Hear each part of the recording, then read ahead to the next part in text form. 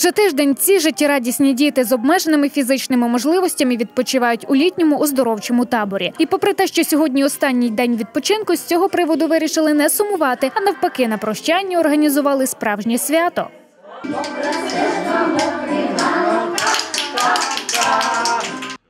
Заклад, в якому оздоровлюються діти, носить символічну назву Надія розташований подалі від гучного міського життя. Тут дітки не тільки насолоджуються канікулами, а ще й щодня займаються. Правда, заняття ці максимально наближені до гри. Вони танцюють, співають, виконують гімнастичні вправи, вчать вірші. Та фахівці кажуть, навіть тижневий результат таких занять вражає.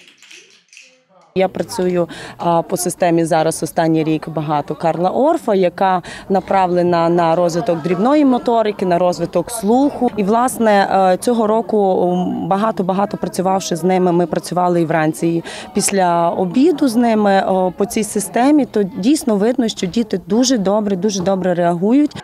Цього разу до оздоровчого табору приїхало близько 20 дітей. Кожен з них вихованець медико-соціального реабілітаційного центру Дорога життя.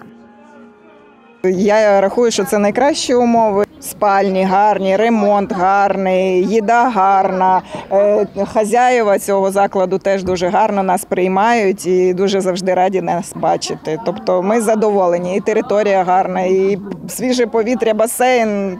Все, що ще потрібно?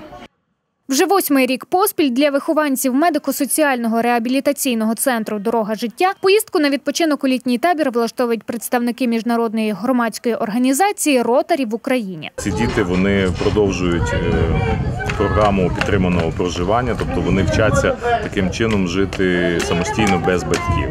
Тому що, на жаль, ну в державі нема таких програм. Діти виховуються там або в інтернатах, або їм до- надається допомога до 18 років, а потім їх залишають е, один на один. Е, Ну, виховувати таких дітей е, складно, але можливо.